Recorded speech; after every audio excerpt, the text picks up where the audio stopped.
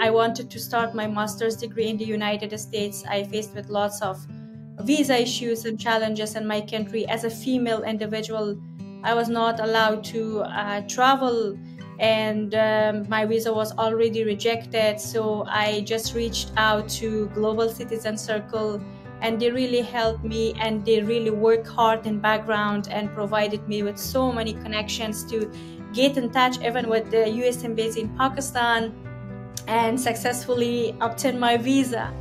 Global Citizen Circle is a happy place to me and will remain in my heart because it really changed my life.